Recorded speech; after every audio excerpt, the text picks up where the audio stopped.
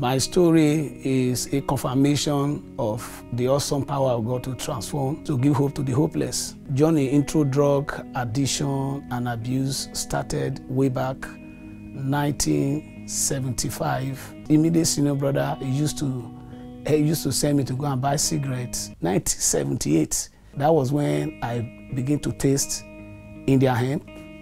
From there, I progressed to taking of uh, different kind of alcohol. I can swallow a whole pack of peas, smoke Indian hemp, take a lot of alcohol. I to have finished my secondary school in 1982. I managed to finish 1984. On getting to Lagos, somebody a friend of mine introduced me to his brother and his brother at that time happened to be selling drugs. He made name for himself as a gangster. So that was when I actually tried cocaine. I tried cry heroin, so I added it up. The drug he used to give to me, I began to smoke it. He came in as a seller. 1978 to 1997, it was exactly 19 years when I went into full-blown addiction. I never, I don't know how to steal.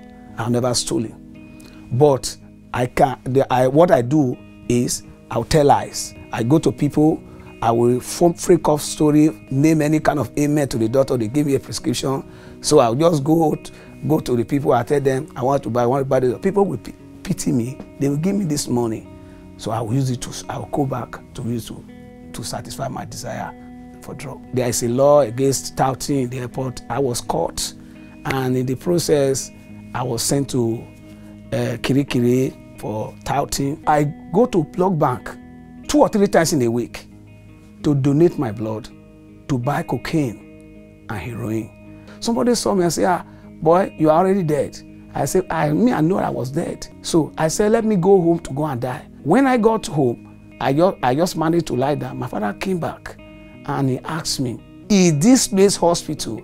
then why do you come and leave my house? Another thing that drug did to me was that it reduced me to nothing. It makes me to, it destroyed my relationship with my family.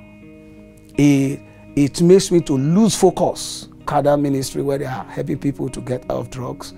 So I, I went there and luckily I was admitted.